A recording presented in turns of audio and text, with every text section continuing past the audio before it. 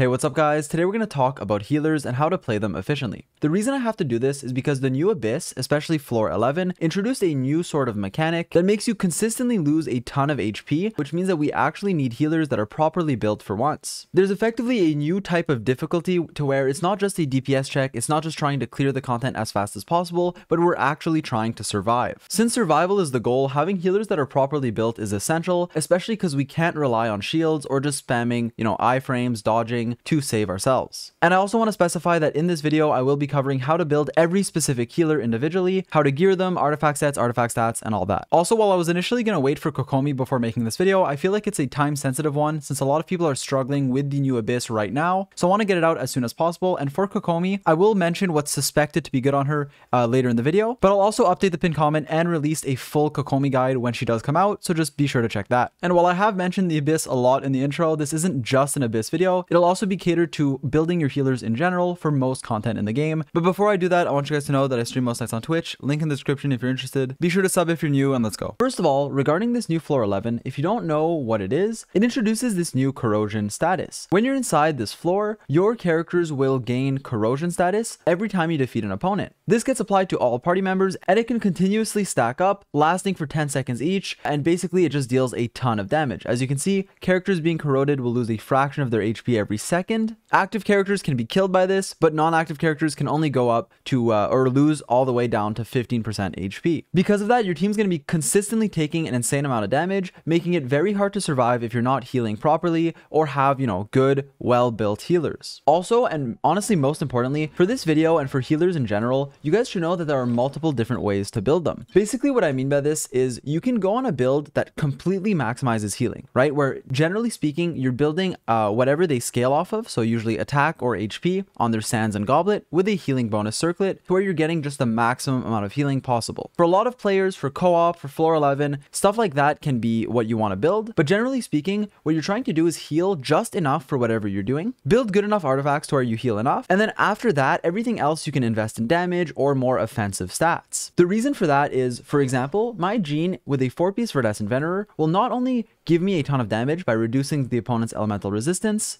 and deal massive amounts of damage on her abilities with my crit circlet and my Anemo Goblet, but even without going full healing, she'll still heal more than enough to make this Abyss easy. She can still fully heal all my characters instantly to where I don't need to go overkill on healing. That being said, I will cover how to get the absolute maximum amount of healing in this video, if that's what you want to build, and I'll also be covering more quote unquote optimal or generalist build sets. The last thing I want to mention before I begin is that the Maiden's Beloved set is generally the set that'll give you the most healing, but is rarely optimal. The reason for that is because running more offensive sets, like Viridescent Venerer for Jean or Noblesse Oblige for general supports, will provide your team with a significant amount of more damage or attack percent in this case, to where you're clearing a lot faster, meaning you need less healing. And if you do need more healing, it's generally preferable to stack it on your artifacts, go for like a healing bonus circlet, over losing out on this damage that you provide your whole team and going with the Maiden set. However, and I want to make it clear, it can be very good if you don't have enough healing, and it can be good for casual players, and if you just get a good set of this passively while farming for Viridescent Venerer. And so I just wanted to cover the set right now. It is the most healing you can get because it gives you 15% healing effectiveness, and then when you use your skill or your burst, all your party members will receive 20% more healing for 10 seconds, which is actually a lot. For some characters like Diona, if you really want her burst to heal more, a set like this can be considered, but is very rarely optimal unless you need more, in which case you can go for the set. And so what I want to do now is show you guys that my Jean, who's not running a super invested healer build, just has a strong attack sands, is a decent level, right? Level 80 with a level 8 talent on her burst, but not maxed out on healing. So she's not running like a healing bonus circlet, not running an attack goblet. She's really just on an attack sands for healing and on a 4-piece Viridescent Venerer, which will give you a lot less healing than Maidens, can still heal more than enough for the floor 11 to where I don't need to just invest in healing. I can still give her a lot of damage to make my life a lot easier in this floor. Alright, so I just cleared like about two waves of enemies without really healing. I'm gonna let all my uh, all my characters get down to pretty low HP here, as you can see. So most of them are in the red zone, right? And as you can see, all I'm gonna do is use my Jean's Burst, and then suddenly all my character's HP is basically full. I can swap into my Xiao, heal inside of this range, and just passively, I'm gonna go back to full HP.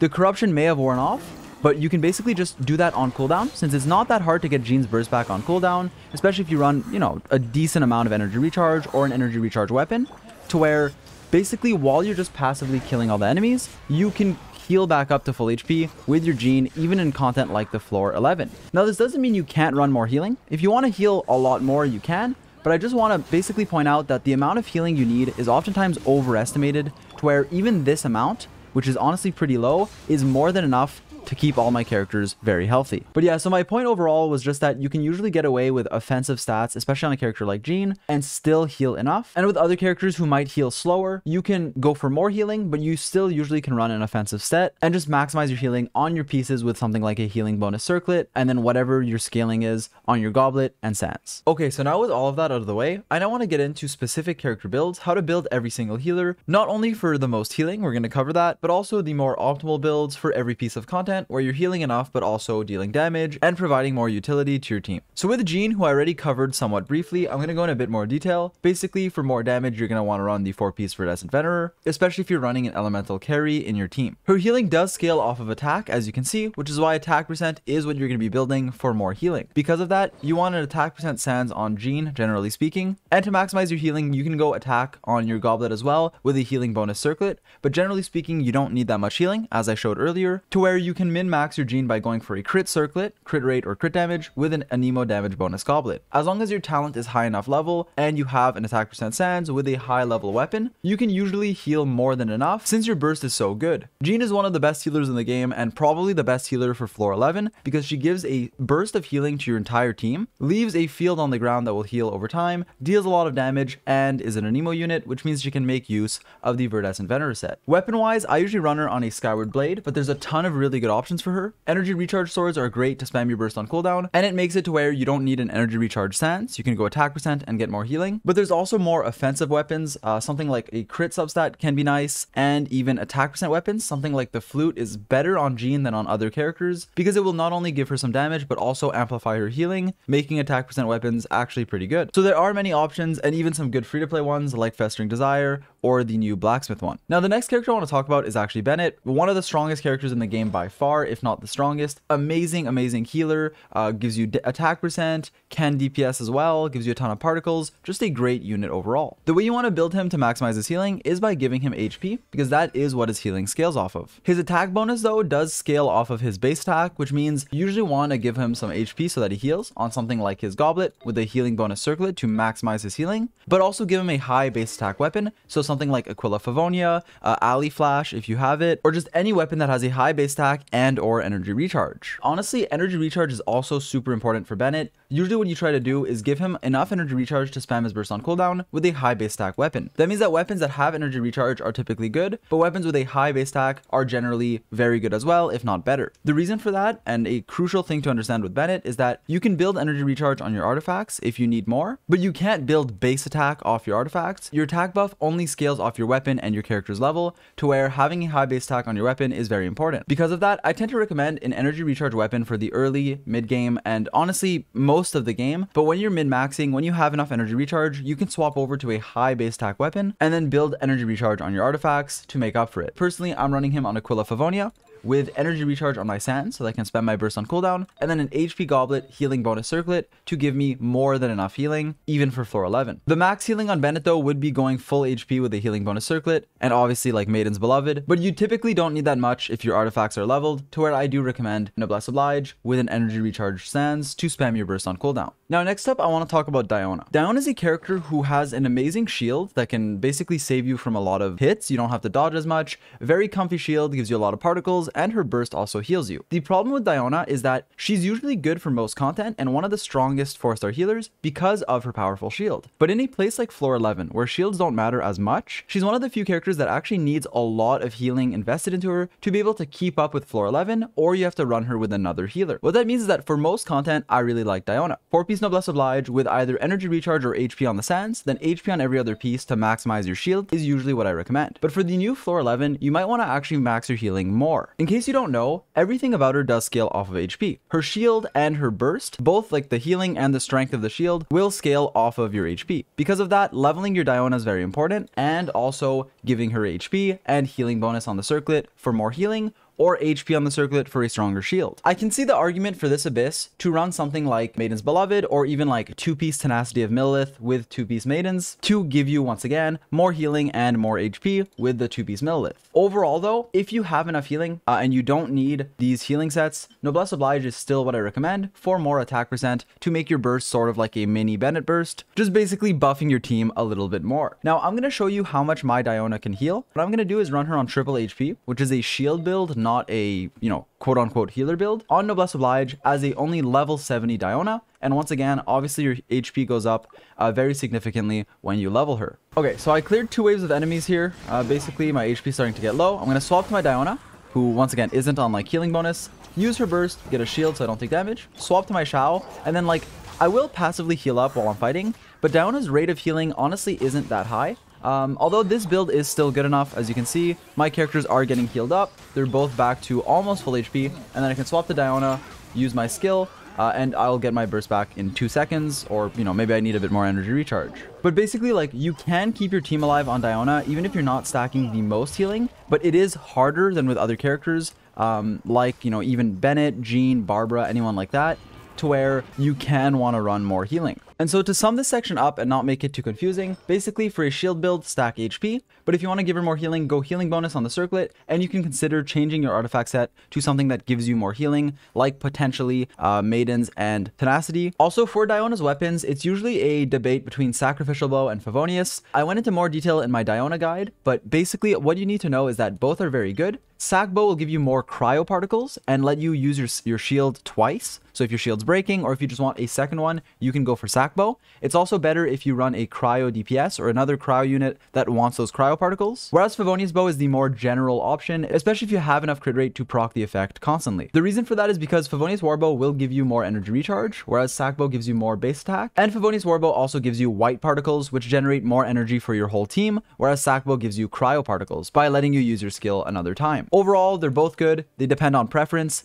I tend to recommend Favonius Warbow late game when you have enough crit rate, and Sacrificial Bow if not, for a more comfy playstyle and more cryo particles, and it is what I personally tend to use. Also, I wanted to mention that Elegy at the end is pretty good, but not many people have it, but you can use it if you do. Next up, I want to talk about Qiqi. Qiqi is a character who actually got a lot more useful this Abyss rotation, because all she does is just give you a ton of healing. Qiqi's healing is insanely high. It's actually so high that you'll usually overheal to where you don't really need to invest that much into her healing. In case you're wondering, her healing does scale off of attack percent, or attack, uh, as you can see, which is why that's what you want to build on her for more healing. However, as I mentioned, she mainly just gives you healing. Sure, her burst deals a lot of damage, but it does have a very high energy cost, and Qiqi doesn't generate any particles for some reason. Because of that, you usually want to build stuff like, you know, Sacrificial Sword, Energy Recharge, and you can even give her some damage, or artifact sets that will give your team more damage to basically make her more than just a pure healer. In the early game, for co-op or for floor 11, having a character who just heals is pretty good though, which is why Qiqi's a lot better this Abyss. But I will show you that even when you're not max invested into your Qiqi, she will heal more than enough because of how much healing she gives you. One thing I want to mention though is that I basically always, always, always recommend a Tenacity of the Millelith set for Qiqi. This is an artifact set that gives her a, a bigger use than just a heal bot because it will give your party members 20% attack every time her elemental skill hits an opponent. And as you know, Qiqi's skill spins around her for a long time from off field. That means that even when you're on other characters, DPSing on, you know, anyone else, you will be gaining this attack percent bonus. So in terms of her artifacts, to maximize her healing, as I mentioned, attack percent is what you want to go for, and you can consider a healing bonus circlet, but it is usually overkill. To show you what I mean, I'm going to run her on an attack sands. Uh, I'm going to remove my goblet uh, just because I don't want to give her that much healing. Uh, she is on a crit circlet, attack sands, and, you know, flower feather. So with no goblet, uh, a sacrificial sword, a level 60 Qiqi, which again is low level,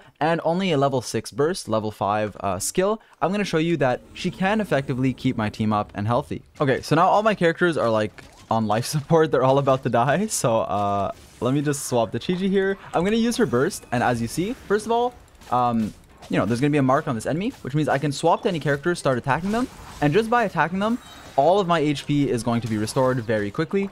Um, and this is with a Qiqi who's very underinvested. You can also attack on your Qiqi to heal like all your party members, but generally speaking, just attacking on the individual characters, using your skill that gives you some healing passively, will be more than enough. Now you might be thinking, oh, but some of my characters are low HP, uh, but honestly, like, it's very easy to maintain it because Qiqi's mark that you apply off your passive and your uh, burst as long as you use your burst relatively frequently on cooldown or whatever, uh, you can easily keep up with all the enemies um, with all the corruption stacks that are afflicted to you. The one thing I want to point out, as you can see my HP is back to full, is that this Qiqi, as I mentioned, is on very low investment. So I'm just doing this to prove that Qiqi's inherent healing is very high, which is why I tend to recommend not building maidens on her, going for Millelith, and then after that, your artifact main stats can honestly depend. Your sands can be attack percent or energy recharge. Your goblet can be attack percent for damage and healing, or even cryo goblet if you want. Uh, Qiqi's damage isn't that high though, especially if you're not super investing into your